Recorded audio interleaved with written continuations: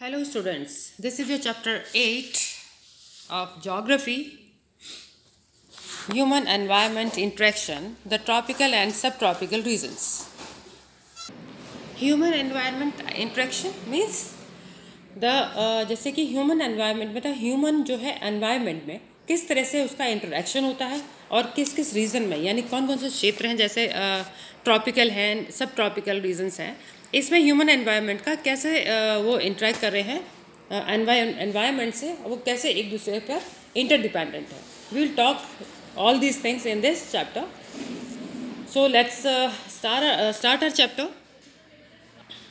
nature is varied and so is the plant and animal life of each region nature is varied means आपको पता ही है जैसे कि nature and and so is a plant ऐसे ही ऐसे ही प्लांट भी and animal life of each region और हर एक रीजन का जो हर एक क्षेत्र का जो एनिमल लाइफ है वो सभी कुछ एक दूसरे पर वैरिड करते हैं। This has an impact upon the human life varied varied means in this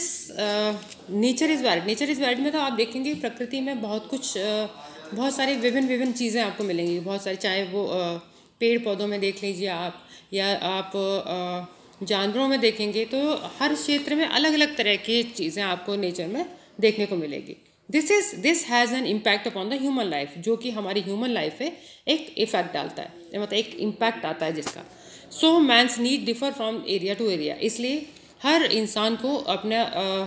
area wise area के हिसाब से सबका अलग अलग रहन सहन का तरीका होता है और उनका जो इम्यूनिटी उस हिसाब से डेवलप हो जाती है। So this is This has been uh, just because of variedness. The climate, vegetation, the wildlife, all, all are the different in different parts of the world. तो आपने देखा होगा कि हर एक जगह पर यानी हर हिस्से में आपको अलग टाइप का एक क्लाइमेट मिलेगा वहाँ का वेजिटेशन डिफरेंट डिफर होगा वाइल्ड लाइफ बिल्कुल डिफर होती है so the life of the people of each region is also different and is largely link to the natural environment of an area तो इसलिए उन जो differ parts of the world के मतलब जो उनकी जो लाइफ होती है पीपल्स की हर एज मतलब हर क्षेत्र की इज़ ऑल्सो डिफर इसलिए उनका हर क्षेत्र के आपको सब, उनकी लाइफ बिल्कुल डिफर मिलेगी and is largely unlike link to the natural environment और जो कि नेचुरल एनवायरनमेंट से लिंक्ड होगा. The natural environment of an area though the basic needs of all are the same इसलिए लेकिन बट आपने देखा होगा बेटा, कि सबका अपना डिफर होता है रहने सहन का तरीका। अगर आप ऊपर चले, इधर चले जाएँ, ऊपर जम्मू कश्मीर साइड चले जाइए, या आप इधर साउथ में चले जाइए तो सबका रहन सहन आप देखेंगे बिल्कुल डिफर है है ना? तो ऐसे सभी कंट्रीज़ का भी होता है कि वो जिस जगह पर, जिस उसमें रह रहे होते हैं तो उनका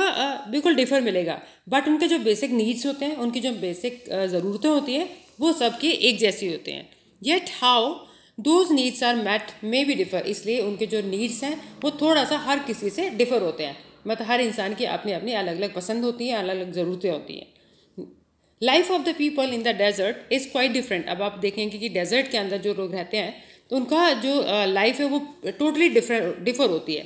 From that of people living in the tropical and subtropical areas let's explore the different regions around the world and know more about them इसमें आप देखेंगे from that of people living in the tropical and subtropical areas जो tropical areas में और सब tropical areas में रह रहे हैं तो उनके बारे में हम लोग एक्सप्लोर करेंगे। Let let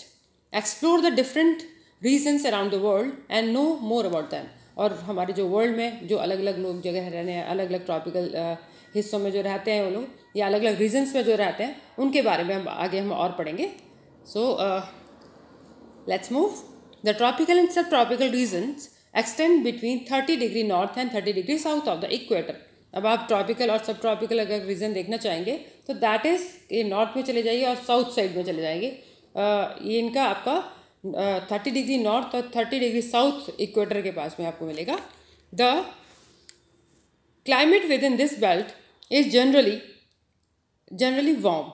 with abundant rainfall. To know more about these reasons, we shall look into the details of two reasons. अब हमें देखना है कि इनके जो क्लाइमेट्स होते हैं वो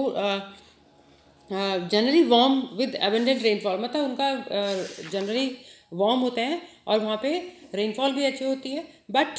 to know more about these regions लेकिन हमें इन्हीं रीजन्स के बारे में और जानकारी लेनी है तो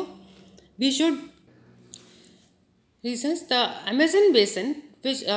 we shall look into the details of two regions अब हम दो रीजन्स हैं जिनके बारे में हम डिटेल में पढ़ेंगे। That is the Amazon basin